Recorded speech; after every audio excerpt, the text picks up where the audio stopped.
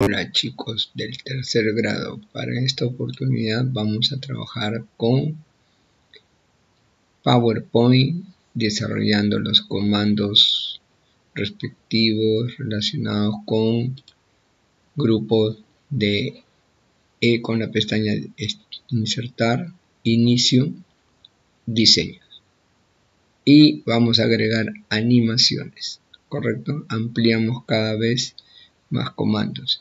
En esta oportunidad abres el PowerPoint, correcto, y genera una presentación en blanco, la cual ya estamos listos. En este momento, luego de haber abierto PowerPoint, tú también haces lo mismo. Enseguida, en el casillero con blanco correspondiente al título, vas a poner como título Día del Idioma. Perdón, disculpen. Sí, día del idioma castellano y vamos a ponerle con las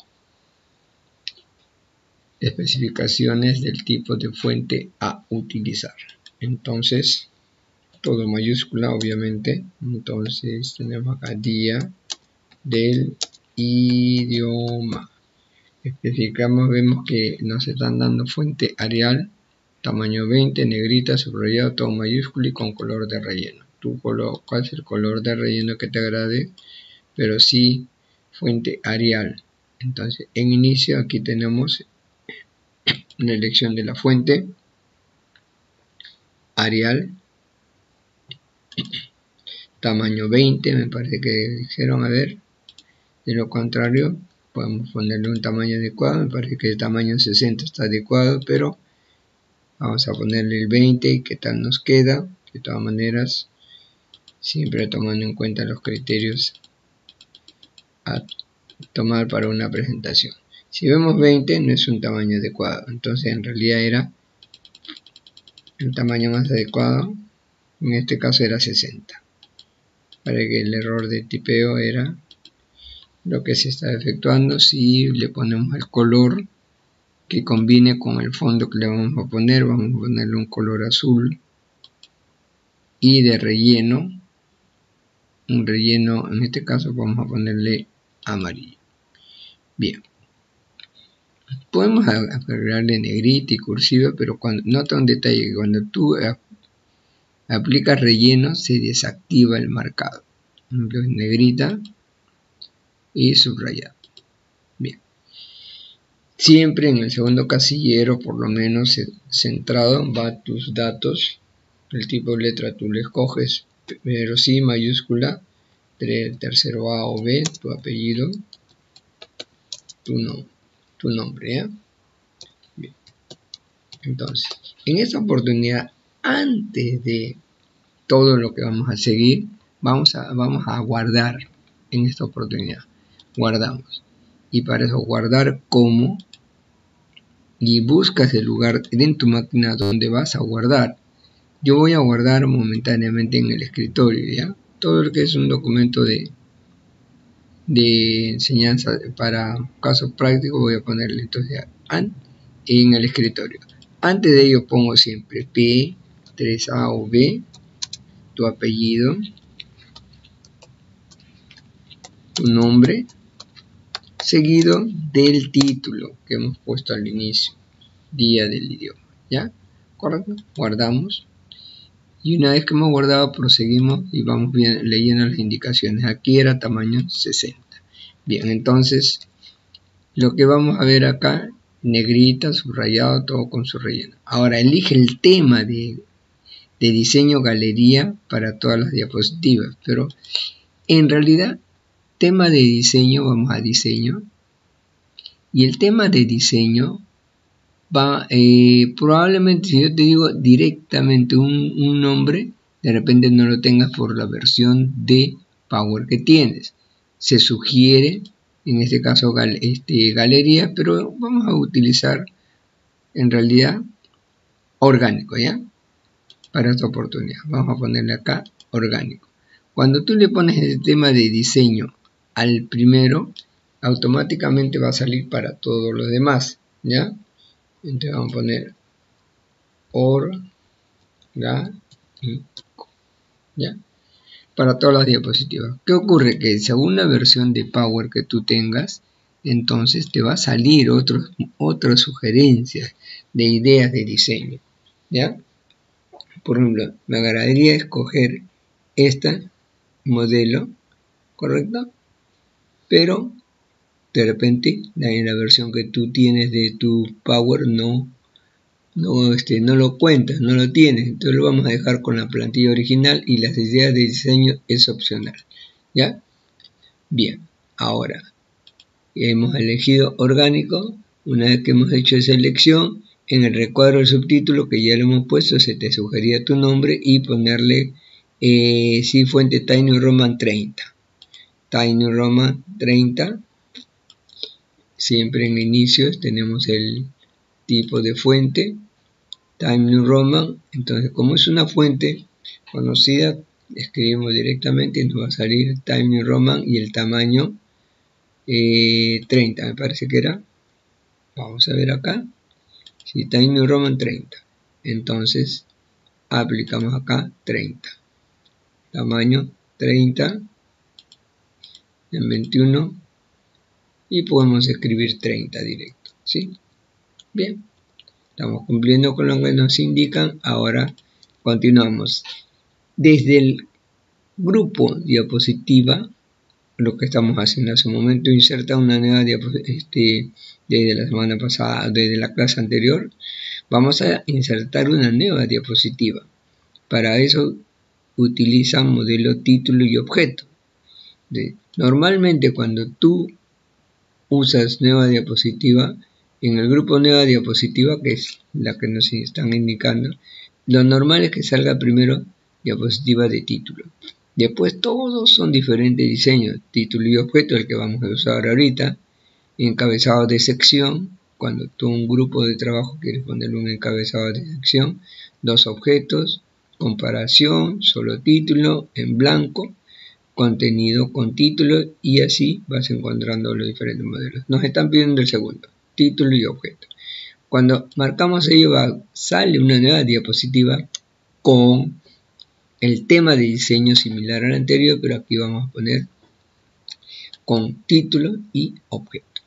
Bien, entonces, ¿qué vamos a colocar ahí?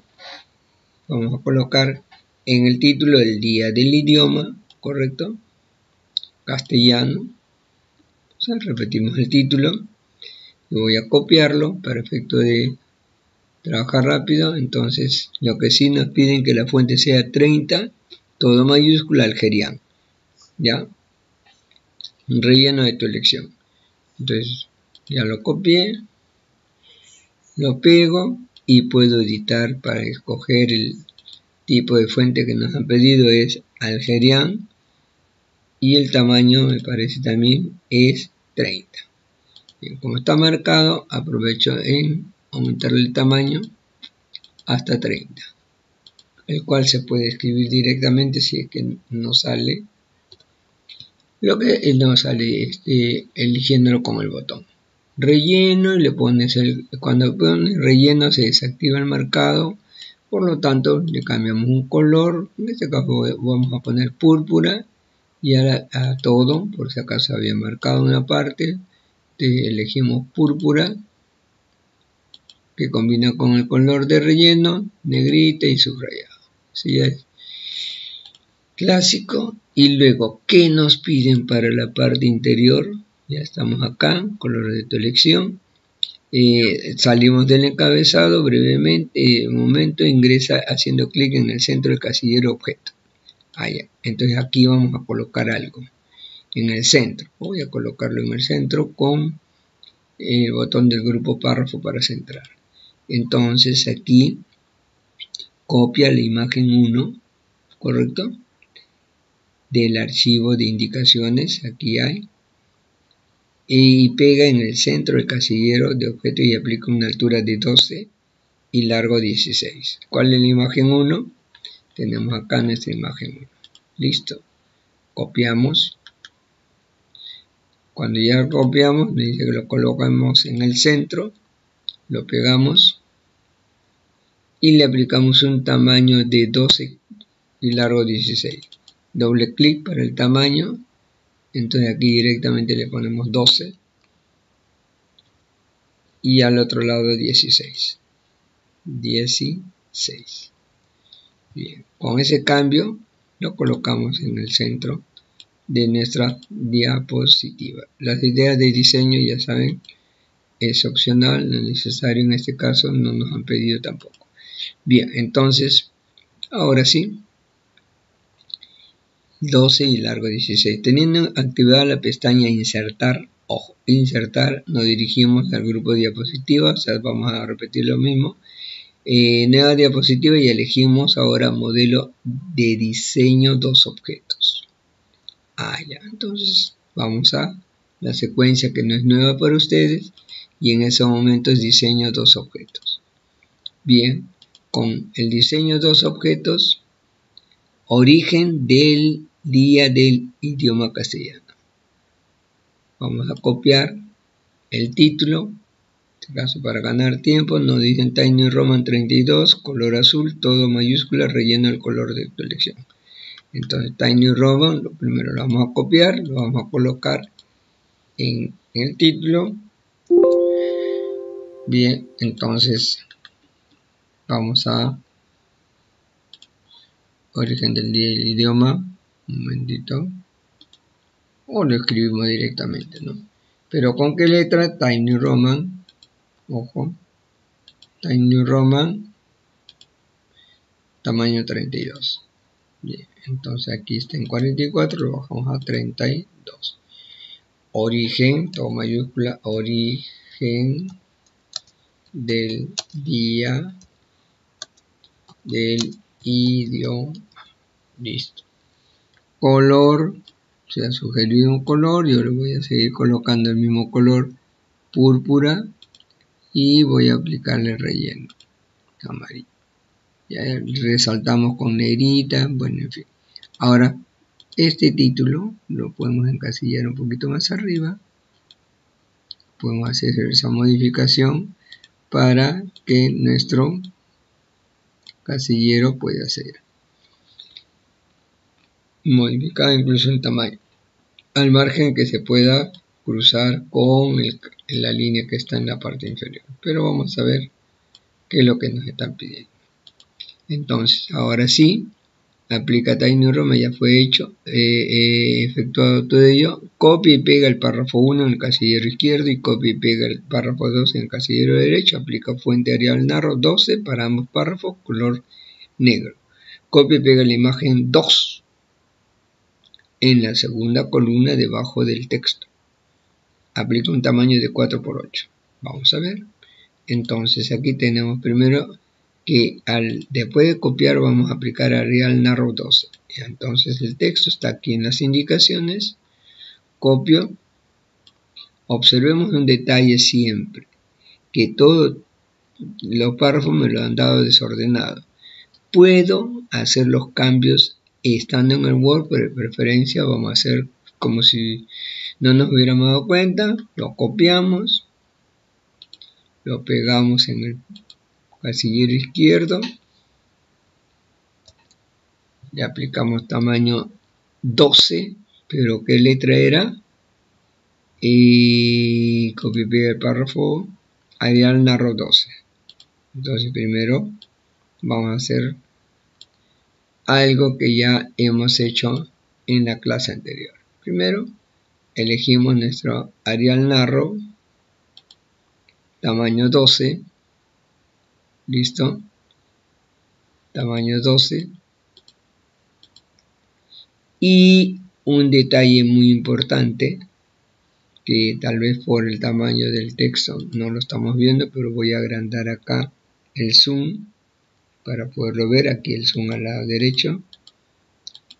Y que vamos viendo por si acaso un poquito más que no está alineado entonces aplicamos ajustes de texto y a la misma vez aplicamos cambio este, mayúscula tipo oración y leemos el contenido al leer el contenido vemos que hay un nombre Miguel de Cervantes Saavedra que no está con mayúscula lo marcamos listo y aplicamos mayúscula en cada palabra.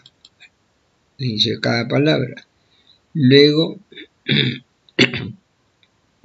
autor de Don Quijote de la Mancha. Aplicamos lo mismo para por lo menos este nombre, ¿no? Entonces, siempre dándole la formalidad. Más adelante, Pablo Neruda, también. Hacemos los cambios a las mayúsculas que correspondan. Y por ahí no encontramos otro detalle. Pero si le damos lectura se refiere al dato de origen del idioma. Pero al otro lado vamos a colocar el texto que corresponde, el párrafo que corresponde, el segundo párrafo. Vamos también igual a si hay cambios que hacer, se hacen. Se refiere a nuestro idioma. Copiamos. Pegamos. Ojo, después de pegar le hacemos el tipo de letra que nos han pedido. Me parece que era Arial Narrow 10 marcamos. Arial Narrow 10 entonces Arial Narrow 10 o 12 a ver me parecía tengo un poquito de duda ahí. 12 era. 12 entonces Arial Narrow 12 y le hemos dejado en 10 me parece era 12 bien. Igual como ya tiene este formato podemos copiar con la escobita ese, ese formato al primer párrafo y le aplicamos al segundo párrafo el mismo formato cambiamos al mismo formato y ya tenemos nuestro trabajo, pero falta mayúscula la primera. Aplicamos cambio a mayúscula, ojo, está marcado, aplicamos cambio a mayúscula tipo oración. Entonces aquí está el cambio a mayúscula, cambiar mayúscula, tipo oración. Y vemos si es que hay palabras de nombre para cambiar a mayúscula, no lo hay. Entonces, ahora Continuamos con las indicaciones que nos decían que copiemos la imagen 2, ¿correcto? En la segunda columna y debajo del texto. Y aplica tamaño de 4 por 8. Entonces, según lo que vemos, por criterio propio, ¿correcto? Vamos a tener que movilizar todo el párrafo hacia la parte de adelante, también el segundo, hacia la parte de arriba, tratando que no se cruce con esa línea o en todo caso cambiamos el modelo de tema de diseño.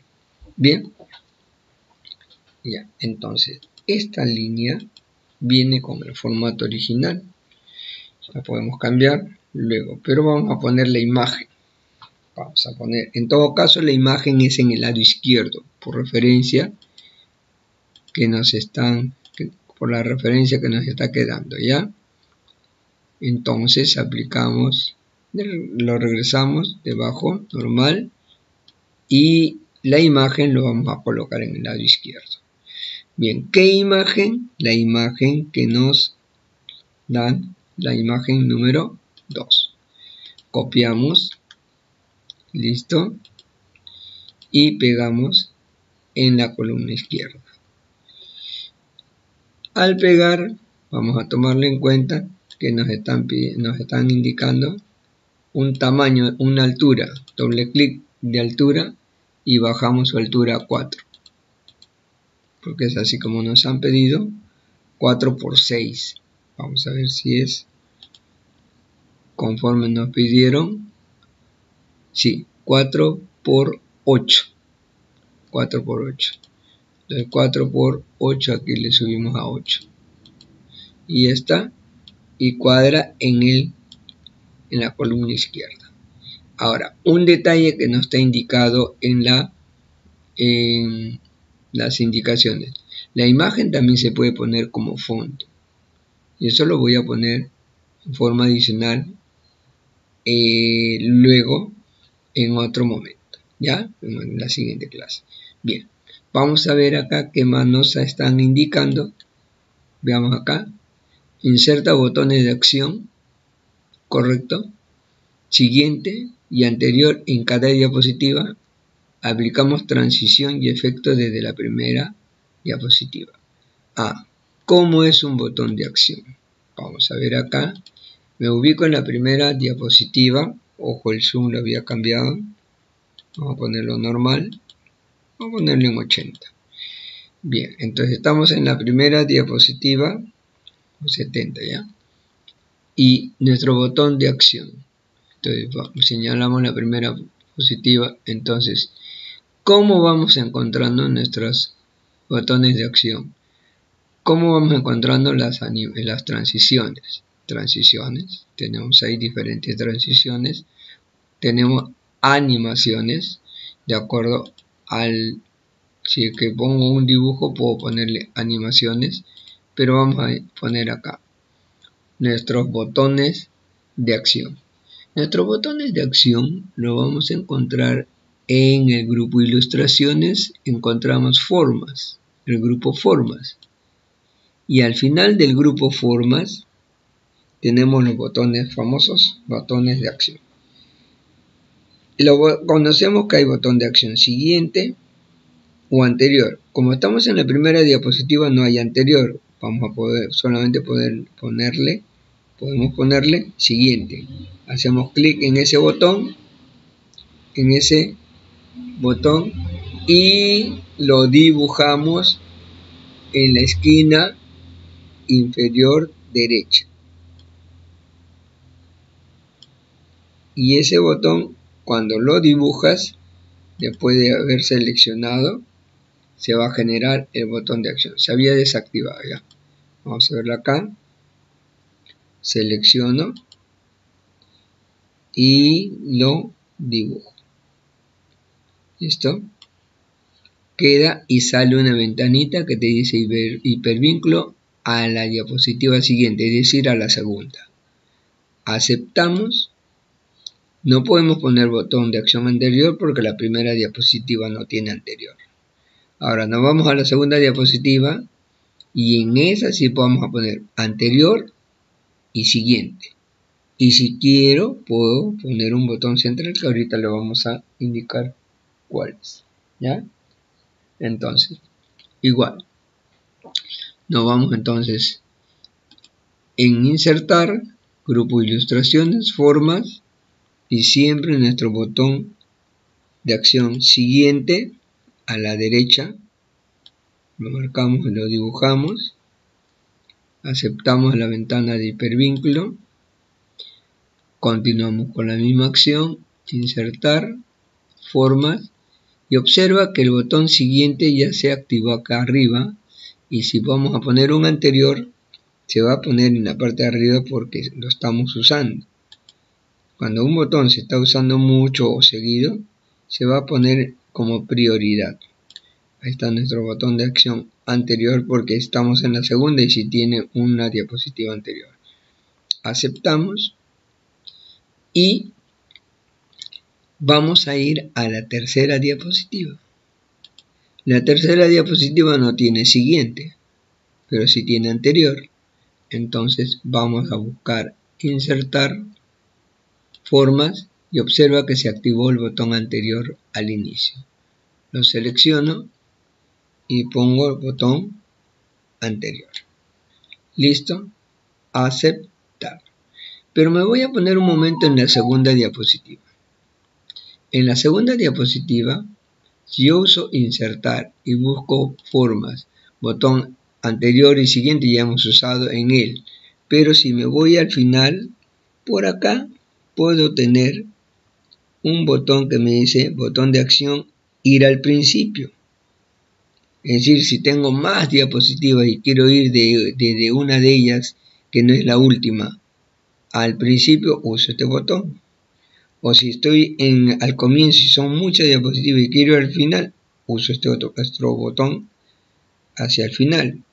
Y si de repente quiero insertar un sonido, tenemos botones para acción de sonido o botones para acción de un video.